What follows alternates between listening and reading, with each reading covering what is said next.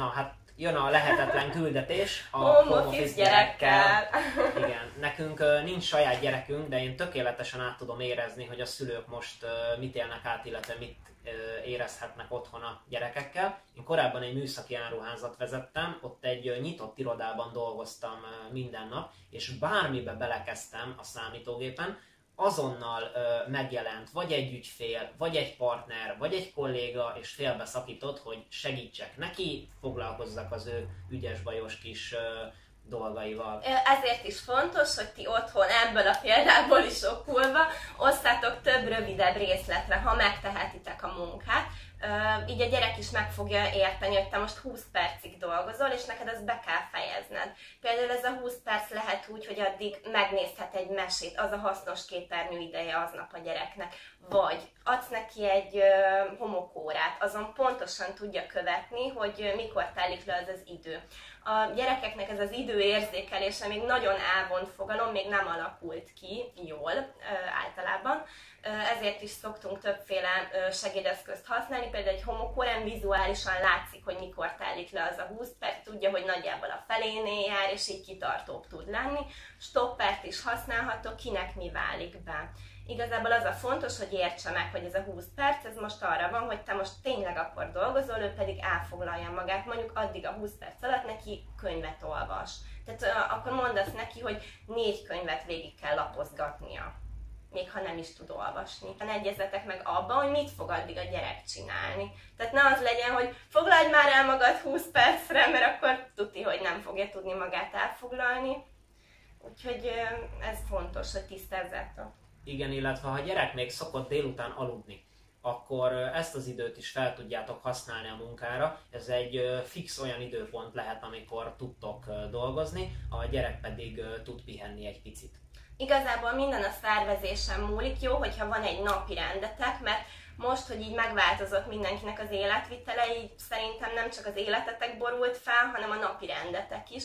Úgyhogy az új helyzethez egy új napi rendel tudtok jól alkalmazkodni. Szerintem fontos megbeszélni, hogy mik azok az idők, amik én időnek kellenek, mi az a minőségi idő, amit együtt töltötök, és a gyerek sokkal kitartóbb tud lenni mondjuk ebben a nélkület töltött, amíg te home office és ő elfoglalja magát dologban, hogyha közös a cél, és tudja, hogy amikor lejár ez az idő, hogy most nem lehettek együtt, meg nem, veled foglal, nem vele foglalkozol, akkor utána együtt fogtok játszani, mondjuk a kedvenc játékával. Mondjuk van neki egy kedvenc társas játéka, és akkor megígéred, hogy csak akkor, hogyha megcsináltad, de akkor azonnal eljátszod vele azt a játékot, így van közös cél, és te is kitartóbb tud, tudsz lenni, ő is. Következik a játék, ötletek otthonra. Így van. A Viki hozott nektek három instant tippet, három játék ötletet, három különböző kategóriából, ezeket itt látjátok mögöttünk a kijelzőn. Ezeket azonnal be tudjátok vetni gyakorlatilag, és remélhetőleg sokáig le is fogják kötni a gyerekeket. Elmondod, hogy milyen játékokat hoztál ma nekünk? Igen. Én hoztam nektek egy nagy homokozót, ez egy benti homokozó, én egy jénai tálba raktam, attól függ, hogy hány éves a gyerek, mert hogyha idősebb, mondjuk már iskolára készül, vagy iskolás, akkor nyugodtan rakhatjátok üvegtálba is. Egyébként a műanyag tálcát javaslom kisebbeknek, és nekik több felügyelet is kell nyilván, hogy ne potorják ki, ha nem muszáj. Tudtok bele gyönyörű mintákat rajzolni, akár kanállal, akár az ujjaddal, és hogyha aláraktok egy szép képet, én mondjuk a szuperhős családot választottam, akkor fel tudjátok fedni az alapokat, aki alatta van, meg tudjátok nézni, hogy ki van ott, ki bújtál. Vagy hogyha vannak otthon kinder tojás figuráitok, akkor el tudjátok benne ásni, és kincskeresőset is tudtok vele játszani. Ez a játék nagyon jól fejleszti a taktilis érzékelést, jól fejleszti a finom motorikát, finom mozgást, ezek mind olyan készségek, amik majd az iskolára egyszer fognak kelleni, és lazítja a görcsös kézizmokat is, úgyhogy ez egy nagyon jó kis játék.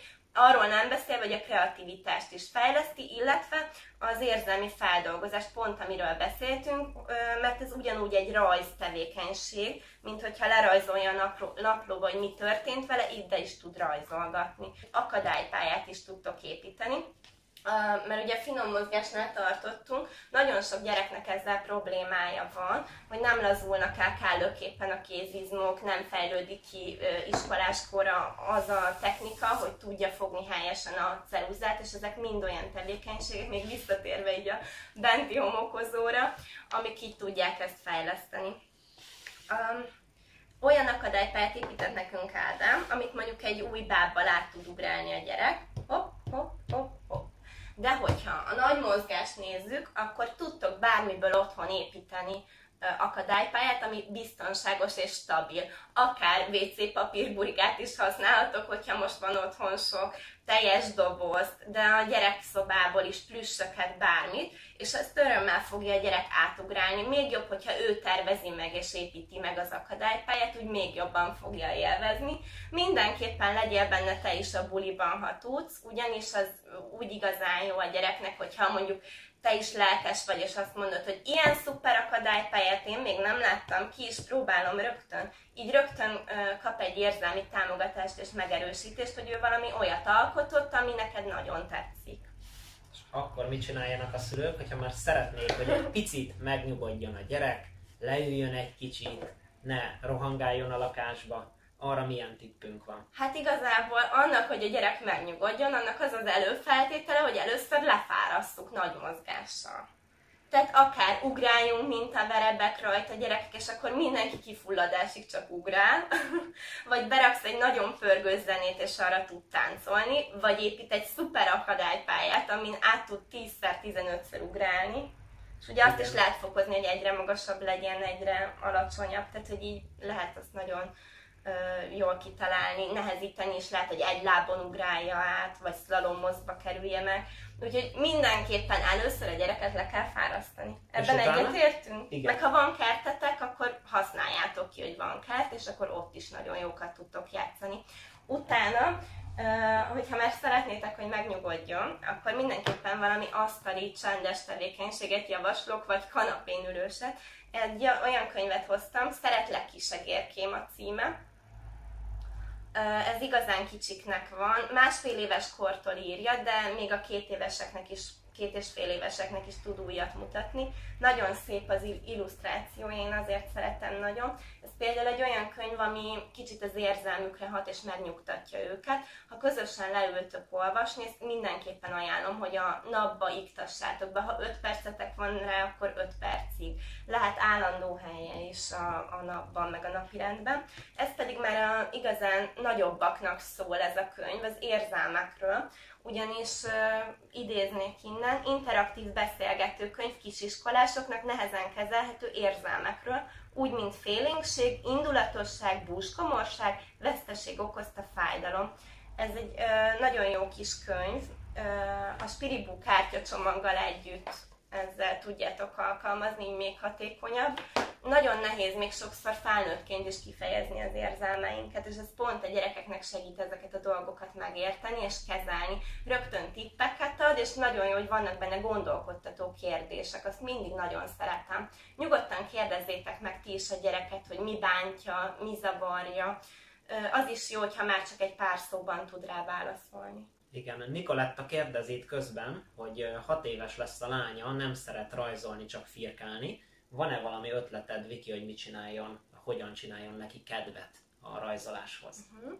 Azt nem tudom, hogy a, a kislányot szerete mondjuk újjal festeni, meg újjal rajzolni, ugyanis mindennek ez az alapja. Ezt egészen kicsiknek is szoktuk használni, de van nekem olyan tanítványom, aki hat éves, és a kedvence, amikor belepacsmagolhat a, a festékbe, mert neki arra van szüksége, hogy érezze a kezén, így ilyen taktilis ingereken keresztül, és vele már nagyon szép fejlődést értünk el, hogy innen elindultunk, hogy összepacsmagolja a kezét, és kézzel fest, meg újjal rajzol, mert abban van egy plusz olyan nyomhagyási öröm, hogy, hogy érzi a kezén, hogy mit csinál. Tehát, hogyha nem szereti mondjuk az ecsetet fogni, vagy a ceruzát, akkor ezek ugyanúgy tudják a kézizmokat fejleszteni, és ezeket a tevékenységeket nagyon javaslom. Akkor javaslom, hogy próbáld ki ezt a benti homokozót. Ez rögtön egy olyan tipp, amit valószínű ki tudsz próbálni, mert ebben van például búzadara, de tudtok lisztet is használni, vagy ami otthon van. A sót azért nem ajánlom, mert csíp,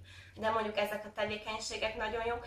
A legózás ugyanúgy fejleszti a, a kézizmokat, ezt általában fiúknak szoktam javasolni, mert a fiúk alapból szeretnek legózni, de van olyan ö, lányos legó, meg, meg a lányok is, ö, van olyan lány, aki szeret ö, legózni, úgyhogy meg kell találni azt a tevékenységet, amit ő kézzel tud csinálni, és szereti csinálni. Hogyha az a pacsmagolás, akkor ez a pacsmagolás, és akkor hát ö, körültekintően leterítitek előtte az asztalt, nincs mese, az aszfalt krétát is ö, próbáljátok ki, hogyha van a közelben olyan beton rész, amire tudtok rajzolni, mondjuk nekünk van itt a kertbe, szeretik a gyerekek, de ö, legyetek, próbáljátok meg kreatívak lenni.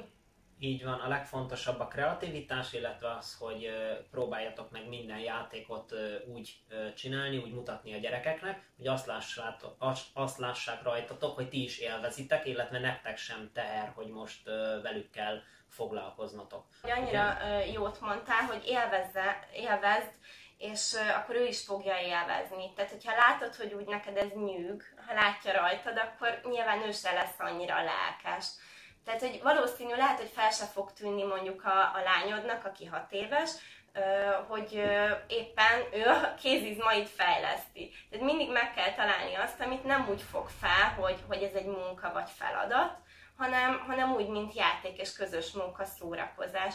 Sokszor egyébként a gyerekeknek ö, olyan jó ötleteik vannak, hogy mondjuk én eltervezek egy foglalkozást, de olyan ö, szuper ötletet hoznak, például azokból az eszközökből, amiket kirakok, hogy egy picit módosítani kell az órámat vagy a foglalkozásomat, mert ők annyira spontán és kreatív módon állnak hozzá, és olyan ötleteik vannak, hogy, hogy sokszor vonom be őket, és próbáljátok meg ti is meghallani ö, otthon, hogy a gyereketek mit szeretne, meg hogyan szeretne, és hogyha egy mód van rá, akkor nyugodtan csináljátok vele. Még nagyon jó kézizmot fejlesztő tevékenység a közös sütés is. Akár ha csak egy kókuszgolyót összegyúrtok, vagy, vagy zappelyhes golyót, már az is nagyon jól fejlesz, nem beszélve a tésztagyúrásról például. Nagyon jó recepteket találtok a Kuckós év oldalon, mert azt is mi csináljuk, Így főleg. Ádám.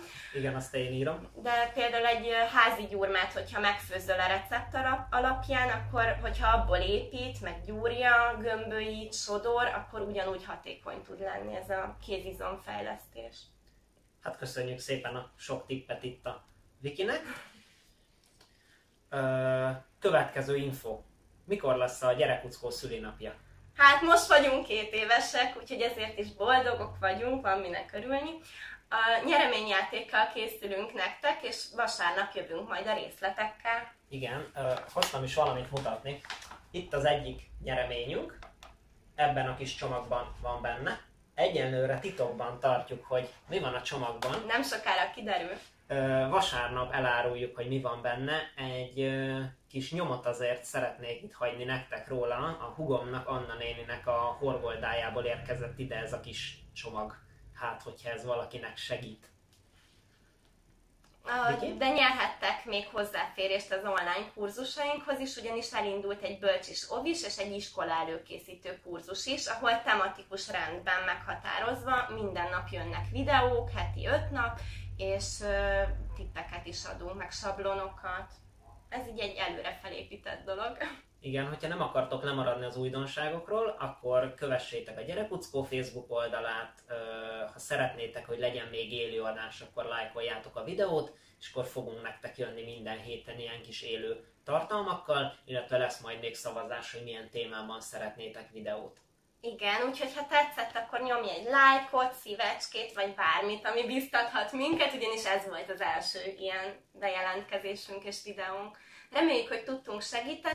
Szép napot kívánunk nektek, maradjatok otthon, lehetőség szerint nem menjetek sehová, hogyha tehetitek, illetve nézzetek minket, kövessetek minket, maradjatok És velünk. próbáljátok ki a tippeket, amiket mondtunk, ami legjobban tetszik, és írjátok meg, hogy hogy sikerült. Rendben. Sziasztok! Sziasztok!